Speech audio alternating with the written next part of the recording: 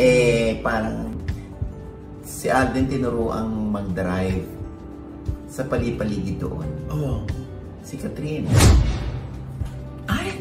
Maraming fans ni na Catherine Bernardo at Alden Richards ang kinilig sa latest vlog na ibinahagi ni OJ Diaz sa kanyang showbiz update, dahil nagbigay ng update sila tungkol sa Kathden.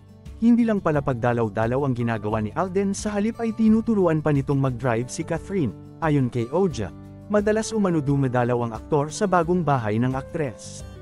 At napapasaya nito ang mga kasama sa bahay ng aktres, tuwang-tuwa daw ang mga kasamahan sa bahay ni Catherine tuwing dumedalaw si Alden.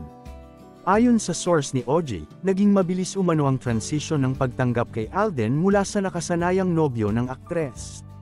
Alam mo meron nga mga nagparating sa akin na nakakatuwa naman, kahit wala naman daw shooting e patuloy na dumedalaw si Alden sa bahay ni na Catherine, ayon kay OJ. Eto pa nga ang kwento, narinig ko lang ito. Si Alden tinuruang mag-drive sa paligid-paligid doon, si Catherine, dagdag pa niya.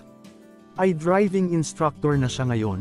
Sabi ni Mama Loy, pag mahal mo iisipin mo ba naman ang estado mo sa buhay?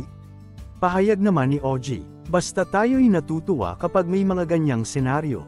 Napag-usapan din ang nagiging akusasyon kay Alden na manggagamit daw ito. Pahayag naman ni OG, ang mga nanggagamit ay ang mga artistang wala pang napatunayan at wala pang narating at starlet pa lang kaya hindi angkop na sabihin ito para kay Alden. Hindi naman gamitan yan, suportahan lamang, dagdag pa ni OG.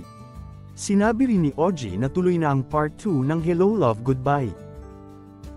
Magugunita ang mas gusto ni Alden na panatilihing privado anuman ang namamagitan sa kanila ni Catherine Bernardo. Sinabi ito ni Alden sa interview ng Preview Magazine kung saan tinanong siya sa madalas nilang pagsasama ni Catherine. Ayon kay Alden, mula nang magkasama sila sa Hello Love, Goodbye noong 2019 ay nanatili silang magkaibigan ni Catherine. The friendship never ended. Naging solid din talaga yung samahan naming lahat, when we were filming. And right now, I'm just quite overwhelmed, sabi ni Alden.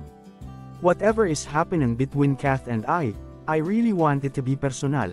Ayon pa kay Alden, kumalat ang mga espekulasyon na nanliligaw si Alden kay Catherine nang madalas na itong kasama ni Catherine sa mga espesyal na okasyon sa buhay ng aktres tulad noong birthday nito at nang magpa-housewarming party kung saan mismong si Alden ay nagseserve ng mga drinks sa ibang bisita.